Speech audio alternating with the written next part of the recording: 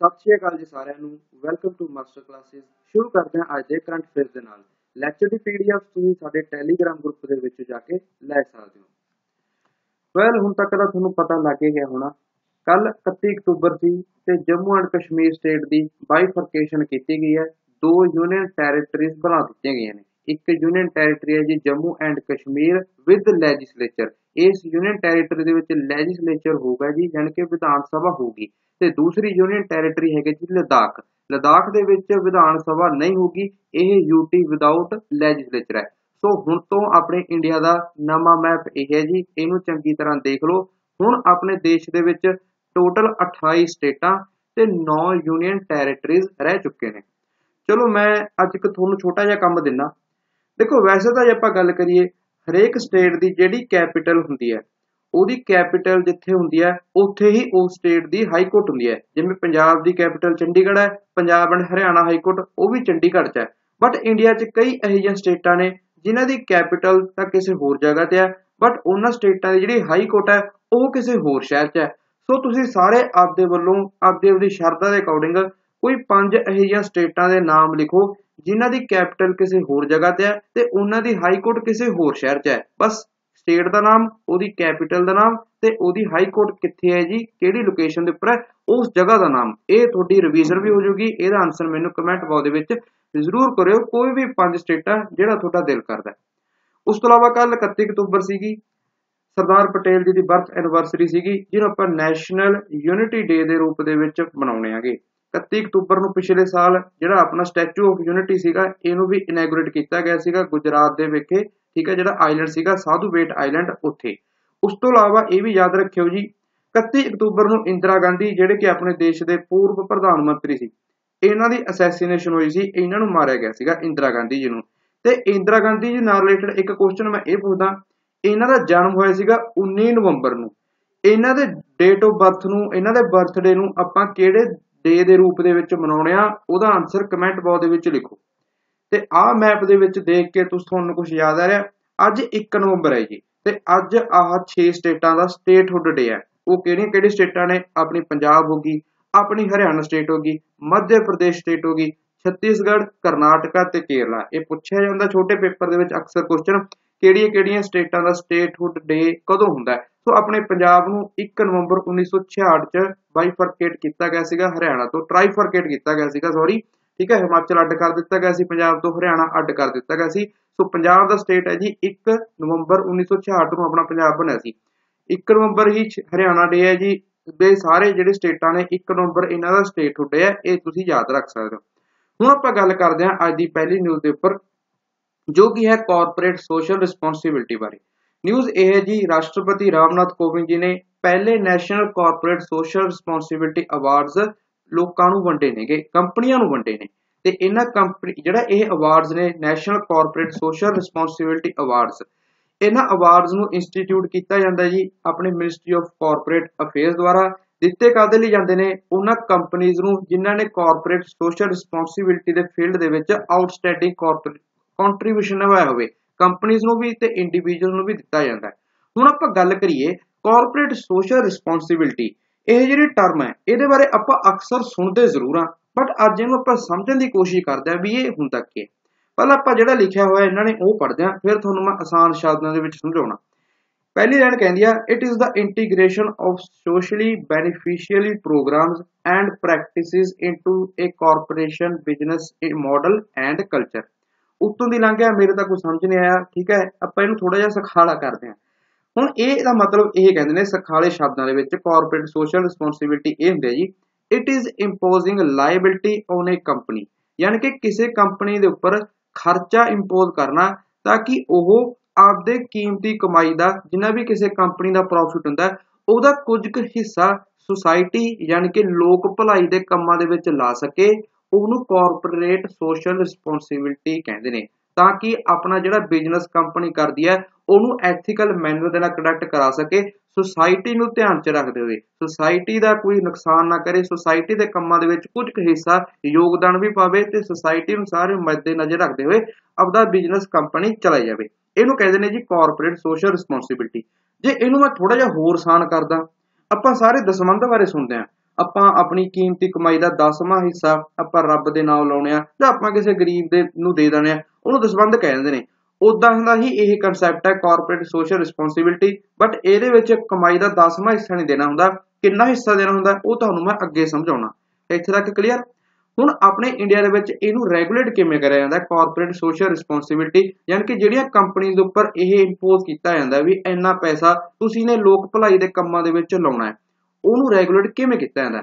ਤਾਂ India one of the first country ਹੈ ਦੁਨੀਆ ਦੇ ਵਿੱਚੋਂ ਜਿਨ੍ਹਾਂ ਨੇ ਕਾਰਪੋਰੇਟ ਸੋਸ਼ਲ ਰਿਸਪੌਂਸਿਬਿਲਟੀ ਨੂੰ ਮੈਂਡੇਟਰੀ ਕੀਤਾ ਹੈ। ਯਾਨੀ ਕਿ ਹਰੇਕ ਕੰਪਨੀ ਇੱਕ ਕੰਡੀਸ਼ਨ ਹੈਗੀ, ਉਹ ਕੰਡੀਸ਼ਨ ਨੂੰ ਜਦੋਂ ਫੋਲੋ ਕਰ ਜਾਂਦੀ ਹੈ, ਮਤਲਬ ਫੁੱਲਫਿਲ ਕਰ ਜਾਂਦੀ ਹੈ, ਤਾਂ ਉਸ ਕੰਪਨੀ ਨੂੰ ਉਹ ਕੰਪਨੀ ਕਾਰਪੋਰੇਟ ਸੋਸ਼ਲ ਰਿਸਪੌਂਸਿਬਿਲਟੀ ਦੇ ਦਾਇਰੇ ਦੇ ਅੰਦਰ ਆ ਜਾਂਦੀ ਹੈ। ਉਹਨੂੰ ਆਪਣੀ ਕਮਾਈ ਦਾ ਕੁਝ ਕੁ ਹਿੱਸਾ ਸੁਸਾਇਟੀ ਦੇ ਲਈ ਕੰਟਰੀਬਿਊਟ ਕਰਨਾ ਹੀ ਪੈਂਦਾ ਹੈ। ਤੇ ਇਹ ਚੀਜ਼ ਦੇ ਲਈ ਕੰਪਨੀਜ਼ ਐਕਟ 2013 ਸੀਗਾ, ਉਹਦੇ ਵਿੱਚ ਅਮੈਂਡਮੈਂਟ ਕੀਤੀ ਗਈ 2014 ਦੇ ਵਿੱਚ ਤੇ ਇੱਕ ਨਵਾਂ ਸੈਕਸ਼ਨ ਇਨਕਲੂਡ ਕੀਤਾ ਗਿਆ ਸੈਕਸ਼ਨ 1351 ਇਹ ਸੈਕਸ਼ਨ ਯਾਦ ਰੱਖਿਓ ਕਾਦੇ ਨਾਲ ਡੀਲ ਕਰਦਾ ਹੈ। ਇਹ ਸੈਕਸ਼ਨ ਦੇ ਵਿੱਚ ਬੇਸਿਕਲੀ ਜਿਹੜੀ ਥ੍ਰੈਸ਼ਹੋਲਡ ਲਿਮਿਟ ਹੈਗੀ ਕਿਸੇ ਕੰਪਨੀ ਦੇ ਲਈ, ਜਿਹੜੀ ਕਿ ਕਾਰਪੋਰੇਟ ਸੋਸ਼ਲ ਰਿਸਪੌਂਸਿਬਿਲਟੀ ਦੇ ਦਾਇਰੇ ਦੇ ਵਿੱਚ ਆਉਂਦੀ ਹੈ, ਉਹਦੇ ਲਈ ਕੁਝ ਕੁ ਥ੍ਰੈਸ਼ਹੋਲਡ ਲਿਮਟਾਂ ਸੈੱਟ ਕੀਤੀਆਂ ਹੋਈਆਂ ਨੇ। ਉਹ ਇਹ ਨੇ ਜੀ। ਸਭ ਤੋਂ ਪਹਿਲਾਂ ਉਸ ਕੰਪਨੀ ਦੀ ਜੇ ਨੈਟ ਵਰਥ 500 ਕਰੋੜ ਜਾਂ ਉਸ ਤੋਂ ਜ਼ਿਆਦਾ ਹੈ ਉਹ CSIR ਦੇ ਦਰ ਦੇ CSR ਦੇ ਦਾਇਰੇ ਦੇ ਵਿੱਚ ਆ ਜੂਗੀ। ਨੈਟ ਵਰਥ ਦਾ ਮਤਲਬ ਹੁੰਦਾ ਤੁਹਾਡੇ ਕੋਲ ਜਿੰਨਾ ਵੀ ਪੈਸਾ ਹੈ, ਵਿੱਚੇ ਤੁਹਾਡਾ ਘਰ ਵਗੈਰਾ ਹੋਗਾ ਸਾਰੀ ਪ੍ਰਾਪਰਟੀ ਦਾ ਪੈਸਾ ਮਿਲਾ ਕੇ ਉਸ ਤੋਂ ਉਹਦੇ ਵਿੱਚੋਂ ਤੁਸੀਂ ਤੁਹਾਡੇ ਉੱਪਰ ਜਿੰਨਾ ਵੀ ਕਰਜ਼ਾ ਵਗੈਰਾ ਡੈਪਟ ਹੈਗਾ, ਉਹਨੂੰ ਮਾਈਨਸ ਕਰ ਦਿਓ। ਜਿੰਨਾ ਪੈਸਾ ਬਚ ਗਿਆ, ਉਹਨੂੰ ਕਿਹਾ ਜਾਂਦਾ ਜੀ ਨੈਟ ਵਰਥ 500 ਕਰੋੜ ਜਾਂ ਉਸ ਤੋਂ ਜ਼ਿਆਦਾ ਹੋਣੀ ਚਾਹੀਦੀ ਹੈ। ਟਰਨਓਵਰ ਤੁਹਾਡੀ 1000 ਕਰੋੜ ਜਾਂ ਉਸ ਤੋਂ ਜ਼ਿਆਦਾ ਹੋਣੀ ਚਾਹੀਦੀ ਹੈ। ਟਰਨਓਵਰ ਦਾ ਮਤਲਬ 1 ਸਾਲ ਦੇ ਵਿੱਚ ਕੰਪਨੀ ਕਿੰਨਾ ਕੁ ਬਿਜ਼ਨਸ ਕਰ ਲੈਂਦੀ ਹੈ ਉਹਨੂੰ ਟਰਨਓਵਰ ਕਿਹਾ ਜਾਂਦਾ ਜੀ ਐਨੂਅਲ ਟਰਨਓਵਰ ਇਹ 1000 ਕਰੋੜ ਜਾਂ ਉਸ ਤੋਂ ਜ਼ਿਆਦਾ ਹੋਣੀ ਚਾਹੀਦੀ ਹੈ ਤੇ ਤੀਸਰਾ ਨੈਟ ਪ੍ਰੋਫਿਟ ਕਿਸੇ ਕੰਪਨੀ ਦਾ 5 ਕਰੋੜ ਜਾਂ ਉਸ ਤੋਂ ਜ਼ਿਆਦਾ ਹੋਣਾ ਚਾਹੀਦਾ। ਫਿਰ ਕੋਈ ਵੀ ਕੰਪਨੀ ਕਾਰਪੋਰੇਟ ਸੋਸ਼ਲ ਰਿਸਪੌਂਸਿਬਿਲਟੀ ਦੇ ਦਾਇਰੇ ਦੇ ਵਿੱਚ ਆਉਂਦੀ ਹੈ ਉਹਨੂੰ ਕੁਝ ਕੁ ਪੈਸਾ ਲੋਕ ਭਲਾਈ ਦੇ ਕੰਮਾਂ ਦੇ ਵਿੱਚ ਲਾਉਣਾ ਪੈਂਦਾ ਹੁਣ ਇਹ ਪੈਸਾ ਹੁੰਦਾ ਕੀ ਹੈ ਤਾਂ ਇਹ ਹੁੰਦਾ ਜੀ ਘੱਟੋ ਘੱਟ 2% ਮਿਨੀਮਮ 2% ਕੰਪਨੀ ਨੂੰ CSIR ਐਕਟੀਵਿਟੀਜ਼ ਦੇ ਵਿੱਚ ਲਾਉਣਾ ਹੀ ਪੈਂਦਾ ਠੀਕ ਹੈ? ਆਪਦੇ ਜਿਹੜੇ ਨੈਟ ਐਵਰੇਜ ਐਨੂਅਲ ਮਤਲਬ ਨੈਟ ਪ੍ਰੋਫਿਟ ਜਿਹੜਾ ਕੰਪਨੀ ਨੂੰ ਜਨਰੇਟ ਹੋਇਆ ਹੋਵੇ, ਪਿਛਲੇ 3 ਫਾਈਨੈਂਸ਼ੀਅਲ ਈਅਰ ਦੇ ਵਿੱਚ ਉਹਦਾ 2% ਪੈਸਾ CSIR CSR ਐਕਟੀਵਿਟੀਜ਼ ਦੇ ਵਿੱਚ ਲਾਉਣਾ ਪੈਂਦਾ ਹੀ ਪੈਂਦਾ ਉਹਨਾਂ ਕੰਪਨੀਆਂ ਨੂੰ, ਜਿਹੜੇ ਕਿ ਆਹ ਕੰਡੀਸ਼ਨਸ ਨੂੰ ਫੁੱਲਫਿਲ ਕਰ ਲੈਂਦੀਆਂ ਨੇਗੀਆਂ। ਹੁਣ CSR ਕਾਰਪੋਰੇਟ ਸੋਸ਼ਲ ਰਿਸਪੌਂਸਿਬਿਲਟੀ ਦੇ ਵਿੱਚ ਕਿਹੜੀ ਕਿਹੜੀਆਂ ਐਕਟੀਵਿਟੀਜ਼ ਆ ਗਈਆਂ? ਯਾਨੀ ਕਿ ਇਹ ਜਿਹੜੇ ਕੰਪਨੀਆਂ ਨੇ, ਇਹ ਪੈਸਾ ਕਿੱਥੇ ਕਿੱਥੇ ਲਾ ਸਕਦੇ ਨੇ? ਬਥੇਰੇ ਤਰ੍ਹਾਂ ਦੇ ਕੰਮ ਨੇ। ਚਾਹੇ ਇਹ ਕੰਪਨੀਆਂ ਐਜੂਕੇਸ਼ਨ ਦੇ ਫੀਲਡ ਦੇ ਵਿੱਚ ਇਨਵੈਸਟ ਕਰ ਸਕਦੀਆਂ ਨੇ ਹੈਲਥ ਕੇਅਰ ਦੇ ਫੀਲਡ ਦੇ ਵਿੱਚ ਇਨਵੈਸਟ ਕਰ ਸਕਦੀਆਂ ਨੇ, ਉਸ ਤੋਂ ਇਲਾਵਾ ਕਈ ਰੋਡ ਸੜਕਾਂ ਬਣਾਉਂਦੀਆਂ ਨੇ ਕੰਪਨੀਆਂ, ਉਹ ਤੁਸੀਂ ਦੇਖਦੇ ਹੋ ਜਦੋਂ ਆਪਣੀ ਸੜਕਾਂ ਬਣਦੀਆਂ ਨੇ, ਸੜਕਾਂ ਦੇ ਵਿਚਾਲੇ ਡਿਵਾਈਡਰ ਹੁੰਦਾ ਹੈਗਾ। ਜਿਹੜਾ ਡਿਵਾਈਡਰ ਦੇ ਵਿਚਾਲੇ ਜਿਹੜੇ ਇਹ ਰੁੱਖ ਲਗਾਏ ਜਾਂਦੇ ਨੇ, ਇਹ ਵੀ ਕਾਰਪੋਰੇਟ ਸੋਸ਼ਲ ਰਿਸਪੌਂਸਿਬਿਲਟੀ ਦਾ ਹੀ ਪਾਰਟ ਹੈ। ਯਾਨੀ ਕਿ NHAI national highway authority of India ਦੁਆਰਾ ਜਿਹੜੇ ਡਿਵਾਈਡਰਾਂ ਦੇ ਵਿਚਾਲੇ ਇਹ ਦਰਖਤ ਲਗਾਏ ਜਾਂਦੇ ਨੇ ਇਹ 2% ਉਸੇ ਪੈਸੇ ਦਾ ਹਿੱਸਾ ਹੁੰਦਾ ਜਿਹੜਾ ਕਿ ਕੰਪਨੀਆਂ ਇੱਧਰ ਇਨਵੈਸਟ ਕਰਦੀਆਂ ਨੇ। এনवायरमेंट ਇਹ ਵੀ ਆਪਣੀ ਇੱਕ ਤਰ੍ਹਾਂ ਦੀ ਕਾਰਪੋਰੇਟ ਸੋਸ਼ਲ ਰਿਸਪੌਂਸਿਬਿਲਟੀ ਹੈ। এনवायरमेंट ਨੂੰ ਧਿਆਨ 'ਚ ਰੱਖਦੇ ਹੋਏ ਇਹ ਦਰਖਤ ਪਲਾਂਟ ਕਰੀ ਜਾਂਦੇ ਨੇ। ਸੋ ਐਦਾਂ ਕਰਦੇ ਕਰਦੇ ਕਈ ਇਹੋ ਜਿਹੇ ਫੀਲਡਸ ਨੇ, ਜਿਨ੍ਹਾਂ ਦੇ ਵਿੱਚ ਇਹ ਕੰਪਨੀਆਂ ਕੰਟਰੀਬਿਊਟ ਕਰ ਸਕਦੀਆਂ ਨੇ ਕਾਰਪੋਰੇਟ ਸੋਸ਼ਲ ਰਿਸਪੌਂਸਿਬਿਲਟੀ ਦੇ ਵਿੱਚ। ਚਲੋ 2% ਪੈਸਾ ਤਾਂ ਇਹਨਾਂ ਨੂੰ ਲਾਉਣਾ ਪੈਂਦਾ ਹੀ ਪੈਂਦਾ ਘੱਟੋ ਘੱਟ। ਉਸ ਤੋਂ ਜ਼ਿਆਦਾ ਵੀ ਲਗਾ ਸਕਦੀਆਂ ਨੇ ਕੰਪਨੀਆਂ ਜਿੰਨੀ ਇਹਨਾਂ ਦੀ ਸ਼ਰਧਾ ਬਟ ਮਿਨੀਮਮ ਐਟਲੀਸਟ 2% ਇਹਨਾਂ ਨੂੰ ਦੇਣਾ ਹੀ ਪੈਂਦਾ ਹੁਣ ਫਰਜ਼ ਕਰੋ ਜੇ ਪੈਸਾ ਬਚ ਗਿਆ ਕੰਪਨੀ ਕੋਲ, ਤਾਂ ਇਸ 2% ਦੇ ਵਿੱਚੋਂ, ਤਾਂ ਉਹ ਪੈਸਾ ਜਾਊਗਾ ਕਿੱਥੇ? ਹੁਣ 2% ਤਾਂ ਇਹਨਾਂ ਨੂੰ ਦੇਣਾ ਹੀ ਪਊਗਾ, ਚਾਹੇ 1% ਵਰਤਨ ਜੇ 1 ਬਚ ਗਿਆ, ਤਾਂ ਉਹ 1% ਬਚਿਆ ਪੈਸਾ ਜਾਊਗਾ ਕਿੱਥੇ? ਤਾਂ ਉਹ ਵੀ ਕੰਪਨੀਜ਼ ਐਕਟ ਦਾ ਜਿਹੜਾ 7ਵਾਂ ਸ਼ਡਿਊਲ ਹੈਗਾ, ਇਹਦੇ ਵਿੱਚ ਪ੍ਰਸਕ੍ਰਾਈਬ ਕੀਤਾ ਹੈ ਵੀ ਆ ਕੁਝ ਕੁ ਫੰਡ ਨੇਗੇ, ਜਿਵੇਂ ਕਿ clean Ganga fund Swachh Bharat Kosh prime minister national relief fund ਇਹਨਾਂ ਫੰਡਾਂ ਦੇ ਵਿੱਚ ਜਿਹੜਾ ਬਚਿਆ ਹੋਇਆ ਪੈਸਾ ਹੋਊਗਾ CSR ਐਕਟੀਵਿਟੀ ਦਾ ਜਿਹੜਾ ਕਿ ਖਰਚਾ ਨਹੀਂ ਗਿਆ, ਉਹ ਪੈਸਾ ਇਹਨਾਂ ਫੰਡ ਦੇ ਵਿੱਚ ਚਲਾ ਜਾਊਗਾ, ਠੀਕ ਹੈ? ਇਹ ਗੱਲ ਕਲੀਅਰ ਹੁਣ ਆਪਾਂ ਗੱਲ ਕਰੀਏ, ਜੇ ਕੋਈ ਕੰਪਨੀ CSIR ਯਾਨੀ ਕਿ 2% ਜਿਹੜਾ ਇਹ ਪੈਸਾ ਹੈ, ਇਹ ਲੋਕ ਭਲਾਈ ਦੇ ਕੰਮਾਂ ਦੇ ਲਈ ਸੁਸਾਇਟੀ ਦੇ ਕੰਮਾਂ ਦੇ ਲਈ ਖਰਚ ਨਹੀਂ ਕਰਦੀ, ਇਹ ਪੈਸਾ ਨਹੀਂ ਦਿੰਦੀ ਕੀ ਉਹਦੇ ਉੱਪਰ ਜੁਰਮਾਨਾ ਲਗਾਇਆ ਸਕਦਾ ਜਾਂ ਜੇਲ੍ਹ ਹੋ ਸਕਦੀ ਹੈ? ਬਿਲਕੁਲ ਹੋ ਸਕਦੀ ਹੈ। ਇੰਡੀਆ ਦੇ ਵਿੱਚ ਇਹ ਚੀਜ਼ ਮੈਂਡੇਟਰੀ ਹੈ। ਤਾਂ ਕਰਕੇ ਜੁਰਮਾਨਾ ਵੀ ਲਗਾਇਆ ਗਿਆ। 50000 ਤੋਂ ਲੈ ਕੇ 25 ਲੱਖ ਤੱਕ ਦਾ ਜੁਰਮਾਨਾ ਲਗਾਇਆ ਜਾ ਸਕਦਾ ਉਸ ਕੰਪਨੀ ਤੇ ਉਸ ਕੰਪਨੀ ਦੇ ਜਿਹੜੇ ਅਫਸਰ ਹੋਗੇ ਉਹਨਾਂ ਦੇ ਉੱਪਰ। ਜੇ ਉਹ ਇਸ ਕੰਪਨੀਜ਼ ਐਕਟ ਦਾ ਜਿਹੜਾ ਇਹ ਸੈਕਸ਼ਨ 135 ਹੈ, ਜਿਹੜਾ ਕਿ ਕਾਰਪੋਰੇਟ ਸੋਸ਼ਲ ਰਿਸਪੌਂਸਿਬਿਲਟੀ ਦੇ ਨਾਲ ਡੀਲ ਕਰਦਾ ਹੈ, ਉਹਦੀ ਕੰਪਲਾਈਂਸ ਦੇ ਵਿੱਚ ਫੇਲ ਹੋ ਜਾਂਦੇ ਨੇ। ਤਾਂ ਕਰਕੇ ਇਹਨਾਂ ਦੇ ਉੱਪਰ ਇੰਨਾ ਜੁਰਮਾਨਾ ਲਾਇਆ ਜਾ ਸਕਦਾ ਹੈ। ਉਸ ਤੋਂ ਇਲਾਵਾ ਜਿਹੜੇ ਅਫਸਰ ਹੋਣਗੇ, ਉਹਨਾਂ ਨੂੰ 3 ਸਾਲ ਦੀ ਜੇਲ੍ਹ ਤੱਕ ਵੀ ਹੋ ਸਕਦੀ ਹੈ, ਜੇ ਉਹ ਇਹ ਕਾਰਪੋਰੇਟ ਸੋਸ਼ਲ ਰਿਸਪੌਂਸਿਬਿਲਟੀ ਦਾ ਆਪਦਾ ਫਰਜ਼ ਨਹੀਂ ਨਿਭਾਉਂਦੇ। ਇਹ ਹੁੰਦੇ ਜੀ ਕਾਰਪੋਰੇਟ ਸੋਸ਼ਲ ਰਿਸਪੌਂਸਿਬਿਲਟੀ ਮੈਂ ਉਮੀਦ ਕਰਦਾ ਤੁਹਾਨੂੰ ਸਮਝ ਆ ਗਿਆ ਹੋਊਗਾ। ਅਗਲੀ ਨਿਊਜ਼ ਆ ਗਈ ਜੀ ਸੀਡ ਅਵਾਰਡਸ ਦੇ ਨਾਲ ਰਿਲੇਟਡ 14 ਸਟਾਰਟਅਪਸ ਨੇ ਕਿਹਾ ਇਹਨਾਂ ਨੂੰ ਚੁਣਿਆ ਗਿਆ ਜੀ 2019 ਦੇ ਸੀਡ ਅਵਾਰਡਸ ਦੇ ਲਈ। ਇੰਪੋਰਟੈਂਟ ਅਵਾਰਡਸ ਨੇ ਇੰਟਰਨੈਸ਼ਨਲ ਅਵਾਰਡਸ ਨੇ, ਇਹਨਾਂ ਬਾਰੇ ਆਪਾਂ ਗੱਲ ਕਰਦੇ ਹਾਂ। ਪਹਿਲਾਂ ਗੱਲ ਕਰੀਏ ਦਿੱਤੇ ਕਾਦੇ ਲਈ ਜਾਂਦੇ ਨੇ। ਤਾਂ ਇਹ ਉਹਨਾਂ ਆਰਗੇਨਾਈਜੇਸ਼ਨਸ ਨੂੰ ਦਿੱਤੇ ਜਾਂਦੇ ਨੇ, ਜਿਹੜੇ ਕਿ ਸਸਟੇਨੇਬਲ ਡਿਵੈਲਪਮੈਂਟ ਗੋਲਸ ਦੇ ਲਈ ਕੰਮ ਕਰਦੇ ਨੇ। ਸਮਝ ਆ ਗਿਆ?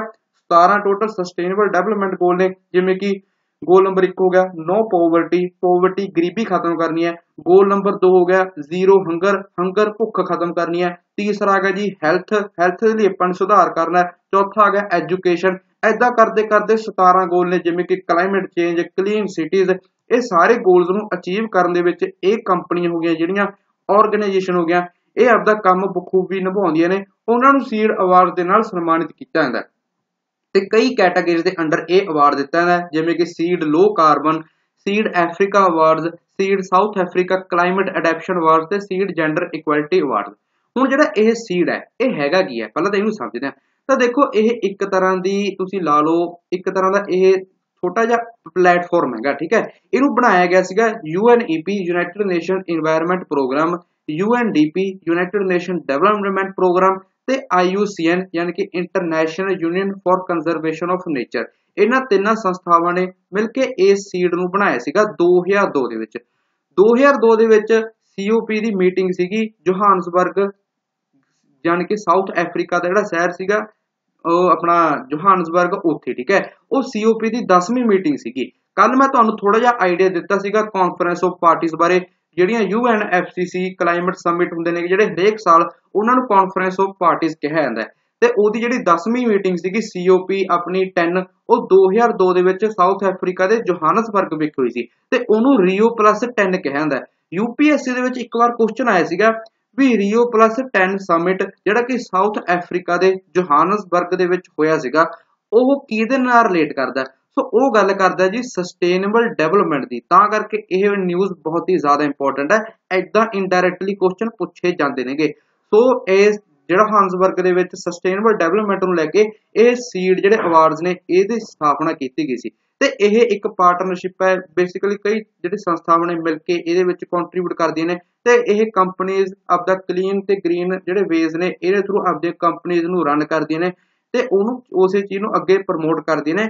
ਤਾਂ ਕਰਕੇ ਉਹਨਾਂ ਸਟਾਰਟਅਪਸ ਨੂੰ ਇਹ ਪ੍ਰਾਈਜ਼ ਦਿੱਤਾ ਜਾਂਦਾ ਹੁਣ ਜਿਹੜਾ ਇਹ ਇਨੀਸ਼ੀਏਟਿਵ ਸੀਗਾ, ਇਹ ਸੀਡ ਇਹ ਕਈ ਕੰਟਰੀ ਦੇ ਵਿੱਚ ਕੰਮ ਕਰਦਾ ਹੈ। ਜਿਵੇਂ ਕਿ ਘਾਨਾ, ਕਈ ਅਫਰੀਕਾ ਤੇ ਏਸ਼ੀਅਨ ਜਿਹੜੇ ਕੰਟਰੀਜ਼ ਨੇ, ਉਹਨਾਂ ਵਿੱਚ ਕੰਮ ਕਰਦਾ ਜਿਵੇਂ ਕਿ Ghana India Indonesia South Africa Thailand Uganda ਇਹਨਾਂ ਸਾਰਿਆਂ ਦੇ ਵਿੱਚ। ਤੇ ਸੀਡ ਦਾ ਐਕਰੋਨਿਮ ਹੈਗਾ ਜੀ supporting entrepreneurs for environment and development ਅਗਲੀ ਨਿਊਜ਼ ਆ ਗਈ ਜੀ Indian Indian brain atlas news ਇਹ ਹੈ ਜੀ ਆਈਆਈਟੀ ਹైదరాబాద్ ਦੇ ਜਿਹੜੇ ਰਿਸਰਚਰ ਨੇ, ਉਹਨਾਂ ਨੇ ਇੰਡੀਆ ਦੀ ਪਹਿਲੀ ਬ੍ਰੇਨ ਐਟਲਸ ਡਿਵੈਲਪ ਕਰਤੀ। ਇਹਦਾ ਨਾਮ ਹੈਗਾ ਜੀ ਇੰਡੀਅਨ ਬ੍ਰੇਨ ਐਟਲਸ 100 ਠੀਕ ਹੈ? IBA 100 ਇਸ ਤੋਂ ਪਹਿਲਾਂ ਕੀ ਹੁੰਦਾ ਸੀ? ਇਸ ਤੋਂ ਪਹਿਲਾਂ ਇੱਕ ਮੌਂਟਰੀਅਲ ਨਿਊਰੋਲੋਜੀਕਲ ਇੰਸਟੀਚਿਊਟ MNI ਕਹਿੰਦੇ ਜਿਹਨੂੰ ਆਪਾਂ ਇਹਦੇ ਦੁਆਰਾ ਇੱਕ ਬ੍ਰੇਨ ਐਟਲਸ ਬਣਾਈ ਜਾਂਦੀ ਸੀ ਤੇ ਉਹਨੂੰ ਹੀ ਆਪਣੇ ਇੰਡੀਆ ਦੇ ਵਿੱਚ ਸਟੈਂਡਰਡ ਮੰਨਿਆ ਜਾਂਦਾ ਸੀ।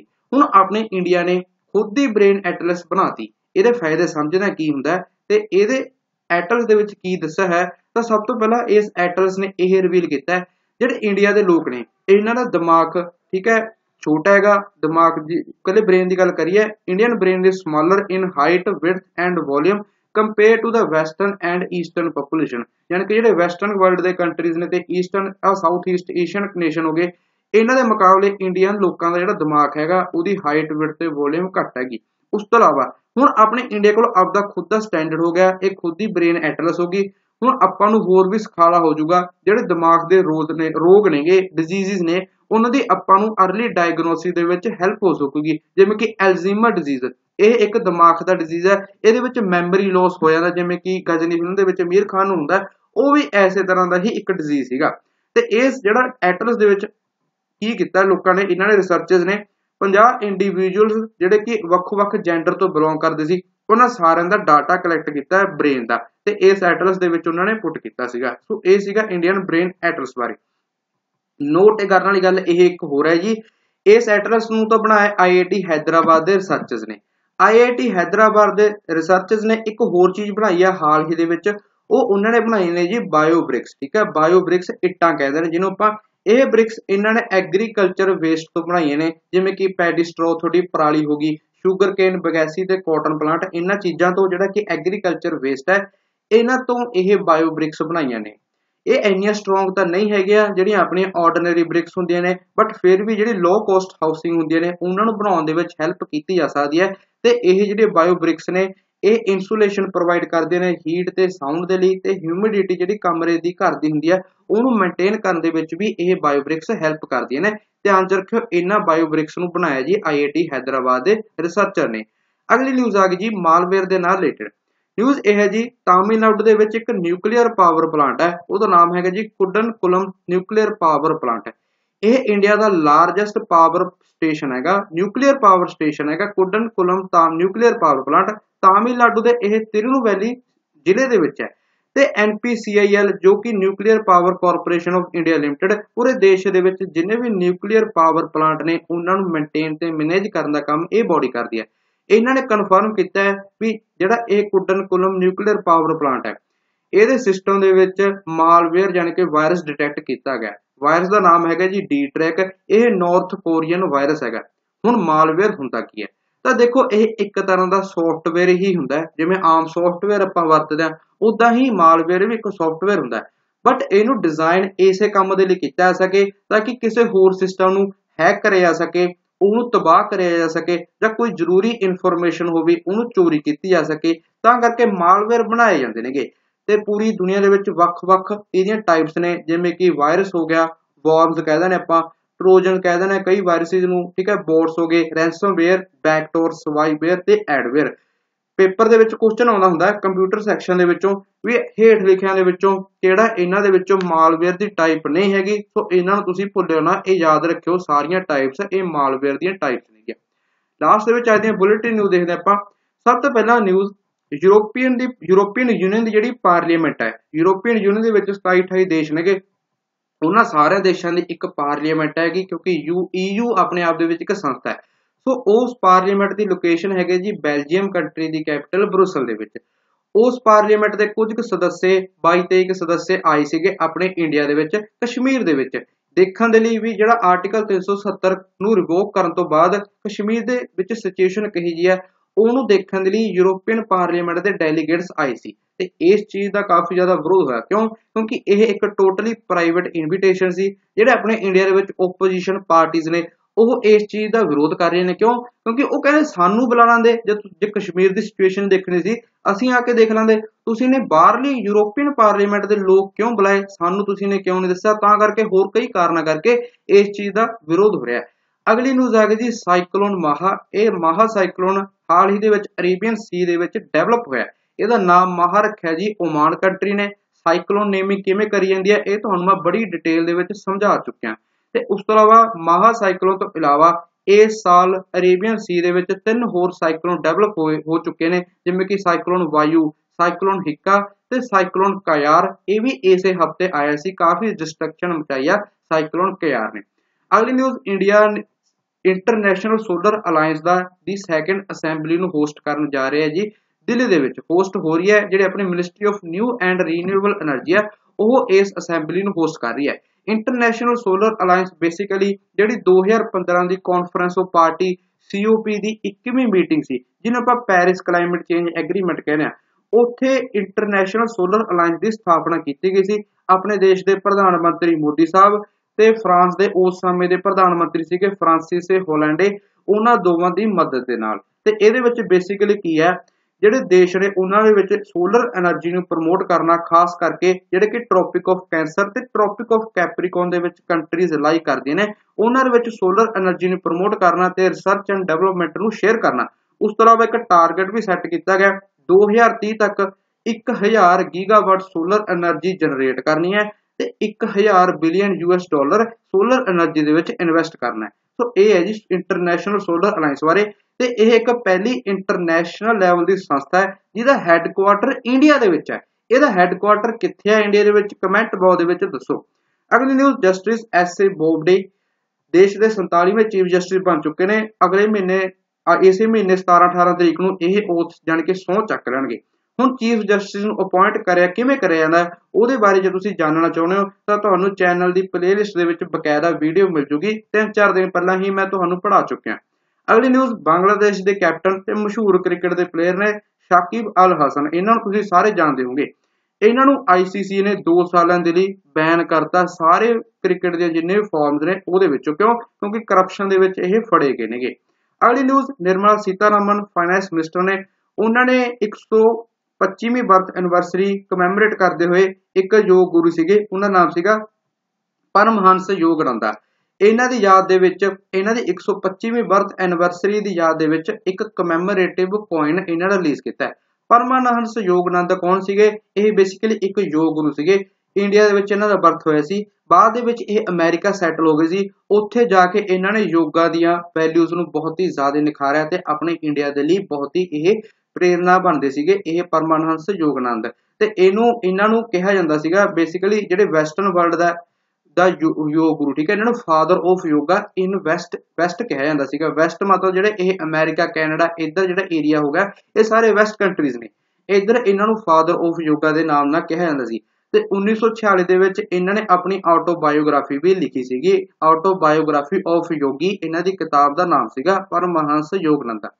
ਅਗਲੀ ਨਿਊਜ਼ ਇੰਪੋਰਟੈਂਟ ਹੈ ਕਿ ਸਪੋਰਟਸ ਨਾਲ ਪਹਿਲਾ ਇੰਡੀਆ ਦਾ ਪਹਿਲਾ ਡੇ ਨਾਈਟ ਟੈਸਟ ਇਸੇ ਮਹੀਨੇ ਖੇਡਿਆ ਜਾਊਗਾ ਈਡਨ ਗਾਰਡਨ ਜੋ ਕਿ ਕਲਕੱਤਾ ਦੇ ਵਿੱਚ ਕ੍ਰਿਕਟ ਸਟੇਡੀਅਮ ਹੈ ਇੰਡੀਆ ਤੇ ਬੰਗਲਾਦੇਸ਼ ਦੇ ਵਿਚਾਲੇ। ਇਹ ਤਾਂ ਇੰਡੀਆ ਦਾ ਪਹਿਲਾ ਡੇ ਨਾਈਟ ਟੈਸਟ ਮੈਚ ਹੋਊਗਾ।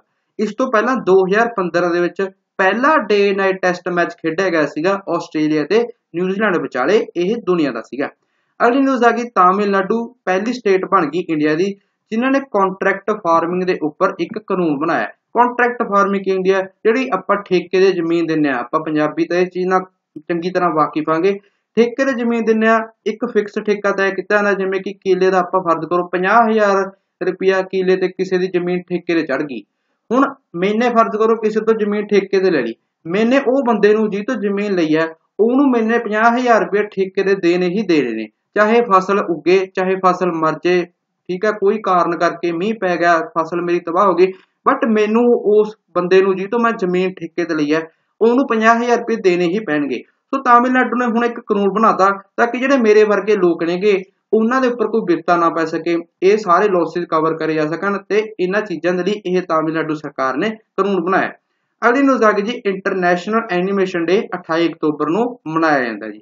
ਤੇ last news lieutenant colonel Swaroop Singh Kuntal ਇਹ ਪਹਿਲੇ ਇੰਡੀਅਨ ਸੌਰੀ ਫਾਸਟੈਸਟ ਇੰਡੀਅਨ ਬਣ ਚੁੱਕੇ ਨੇ। ਜਿਨ੍ਹਾਂ ਨੇ ਆਇਰਨ ਮੈਨ ਮਲੇਸ਼ੀਆ ਕੰਪਲੀਟ ਕੀਤੀ ਹੈ 12 ਘੰਟੇ 14 ਮਿੰਟਾਂ ਦੇ ਵਿੱਚ। ਆਇਰਨ ਮੈਨ ਕੀ ਹੁੰਦਾ? ਬੇਸਿਕਲੀ ਇਹ ਦੁਨੀਆ ਦੀ ਵਨ ਆਫ ਸਭ ਤੋਂ ਡਿਫਿਕਲਟ ਇਹ ਐਵਟ ਮੰਨਿਆ ਜਾਂਦਾ ਇਹ ਵੀ ਰੇਸਾਂ ਇੱਕ ਤਰ੍ਹਾਂ ਦੀ ਮੈਰਾਥਨ ਹੁੰਦੀ ਹੈ ਬਟ ਇਹਦੇ ਵਿੱਚ ਤਿੰਨ ਤਰ੍ਹਾਂ, ਤਿੰਨ ਚੀਜ਼ਾਂ ਹੁੰਦੀਆਂ ਨੇ। ਜਿਵੇਂ ਕਿ ਕੁਝ ਕੁ ਮੀਲ ਪਹਿਲਾਂ ਤਾਂ ਸਵਿਮਿੰਗ ਕਰੀ ਜਾਂਦੀ ਹੈ। ਸਵਿਮਿੰਗ ਤੋਂ ਬਾਅਦ ਫਿਰ ਪਤਾ ਨਹੀਂ ਕਿੰਨੇ ਕਿੰਨੇ, ਮਤਲਬ ਕਈ ਮੀਲ ਹੁੰਦੇ ਨੇ ਕਿ ਮੇਰੇ ਐਗਜ਼ੈਕਟ ਡਾਟਾ ਤਾਂ ਯਾਦ ਨਹੀਂ। ਸਵਿਮਿੰਗ ਤੋਂ ਬਾਅਦ ਫਿਰ ਇਹ ਜਾਂਦੇ ਨੇ ਜੀ ਸਾਈਕਲਿੰਗ ਤੇ, ਫਿਰ ਸਾਈਕਲਿੰਗ ਕਰਨੀ ਪੈਂਦੀ ਹੈ ਤੇ ਸਾਈਕਲਿੰਗ ਤੋਂ ਬਾਅਦ ਫਿਰ ਦੂਜੇ ਰੂਟ ਭੱਜਣਾ ਪੈਂਦਾ ਹੈ। ਇਹ ਤਿੰਨ ਐਵਟ ਹੁੰਦੇ ਨੇ ਜੀ 17 ਘੰਟਿਆਂ ਦੇ ਵਿੱਚ ਇਹ ਕੰਪਲੀਟ ਕਰਨਾ ਹੁੰਦਾ ਹੈ ਤੇ ਸਵਰੂਪ ਸਿੰਘ ਕੁੰਤਲ ਜੀ ਨੇ 12 ਘੰਟੇ 14 ਮਿੰਟ 'ਚ ਹੀ ਇਹ ਜਿਹੜਾ ਇਹ ਕੰਮ ਸੀਗਾ, ਇਹ ਕੰਪਲੀਟ ਕਰ ਲਿਆ। ਇਸ ਤੋਂ ਪਹਿਲਾਂ ਵੀ ਆਪਣੇ ਇੰਡੀਆ ਦੇ ਇੱਕ ਮੇਜਰ ਜਨਰਲ ਸੀਗੇ, ਉਹਨਾਂ ਦਾ ਨਾਮ ਸੀਗਾ ਵਿਕਰਮ ਡੋਗਰਾ। ਉਹਨਾਂ ਨੇ ਵੀ ਆਸਟਰੀਆ ਵਿਖੇ ਆਇਰਨ ਮੈਨ ਹੈਲਡ ਹੋਈ ਸੀਗੀ, ਉੱਥੇ ਉਹਨਾਂ ਨੇ ਵੀ ਆਪਣੇ ਇੰਡੀਆ ਦਾ ਨਾਮ ਰੋਸ਼ਨ ਕੀਤਾ ਸੀਗਾ, ਉਹ ਵੀ ਉਹਨਾਂ ਨੇ ਜਿੱਤੀ ਸੀਗੀ।